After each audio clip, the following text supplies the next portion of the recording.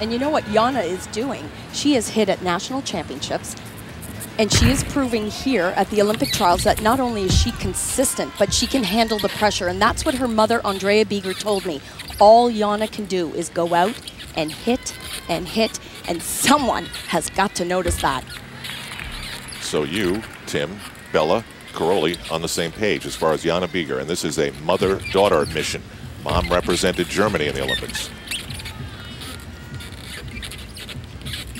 She shows nice handstands. You see that right there, landing directly in that vertical position. Critical to avoid the deductions. She has been a rock.